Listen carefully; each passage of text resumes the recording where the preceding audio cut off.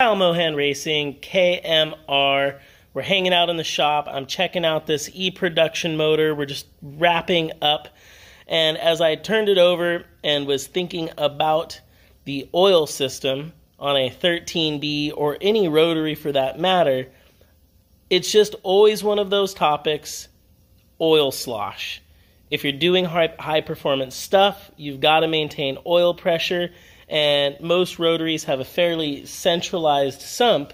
So if you're not running a dry sump system or some other type of high performance oil system, um, then one of those things that you can do is add in a slosh plate or baffle plate.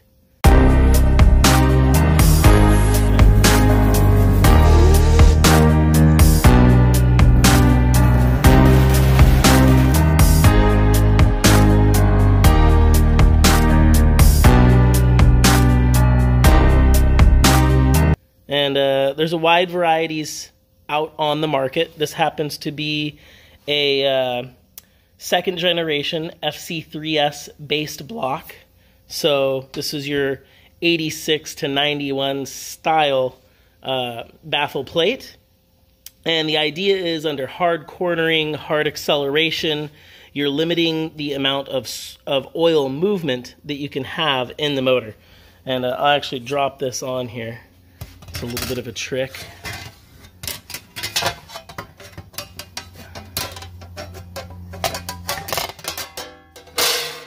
It's usually easier when I'm not one-handing it. All right. And you can see how that really stops the oil movement from going in the pan up into the cavities of the block. And really, if you're thinking about what rotaries are, the oil is all in the bottom pan anyways.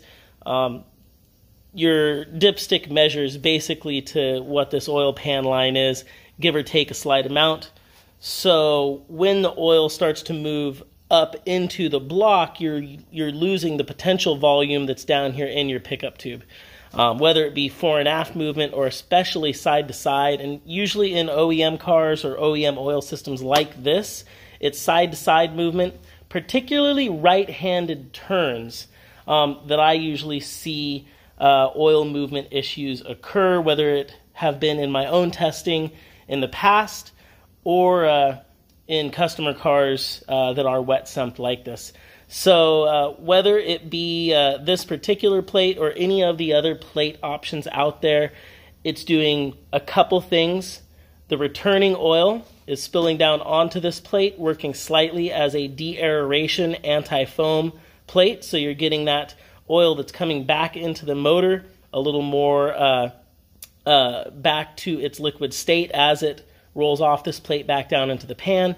And it's also trying to keep that oil that's in the pan from moving upward into the motor um, as the car moves around in G loading of acceleration and cornering. So, um, you know, I thought it was cool. I was putting this together, I was dropping it on, and I was like, wow, this is something I should really talk about in the future. And instead of making it the future, I made it right now. So make sure to follow KMR, ask those questions.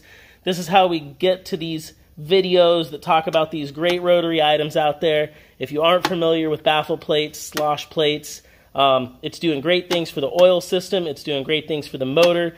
And if you're driving in performance situations, it's definitely something to consider, especially if you can't afford expensive upgrades like dry sumps or AccuSumps sumps or things like that. This is just a good old traditional oil pan baffle plate, rotary style. Um, this has been a KMR video. I'm going to brap it on out of here. I got to finish this motor up. People are waiting. It's going in a race car. Maybe we'll even talk about this. But it is a six-port e-production SCCA-based build. And uh, it should be making some good horsepower and out on the tracks fairly soon. So, yeah, race motors, Brappy style, oil slosh.